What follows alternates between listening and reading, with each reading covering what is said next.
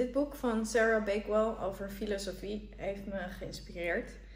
Ik wil het stukje voorlezen waar ze uitlegt wat filosofie voor haar heeft betekend in haar leven en hoe ze als 16-jarige ja, daar uh, mee in aanraking is gekomen.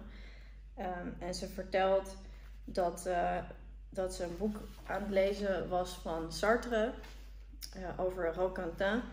En die uh, gaat bij de zee zitten en in een park. En die gaat dan naar een kastanjeboom zitten staren, net zo lang totdat hij daar helemaal iets in ziet. En dan gaat ze dat ook proberen, maar het lukt eigenlijk niet. En nou ik ga het gewoon even voorlezen. Roquentin sits in cafes and listens to blues records instead of getting on with the biography he's supposed to be writing. He walks by the sea and throws pebbles into its grey porch-like depths.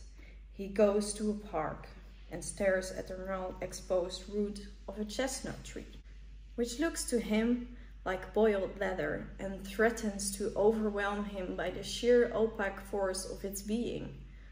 I loved all this and was intrigued to learn that the story was Sartre's way of communicating a philosophy called existentialism.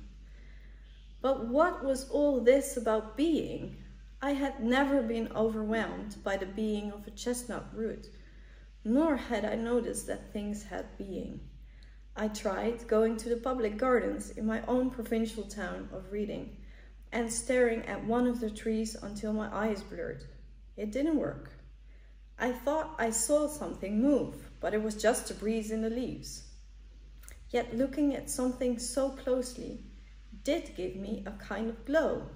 From then on, I too neglected my studies in order to exist. I had already been inclined to absenteeism.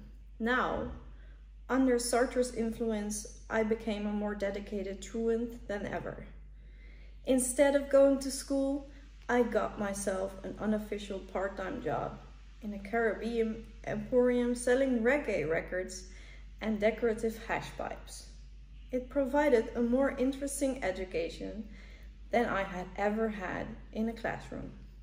Sartre had taught me to drop out, an underrated and sometimes useful response to the world.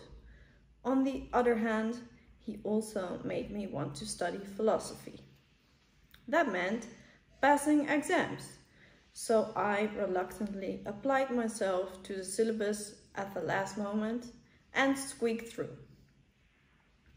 I went to Essex University, where I did a philosophy degree and read more Sartre, as well as other thinkers.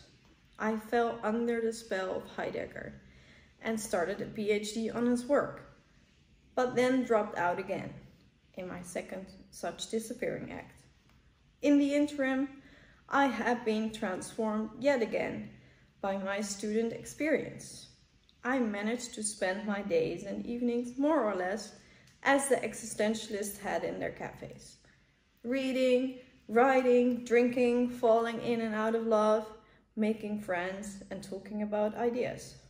I loved everything about it and thought life would always be one big existentialist cafe.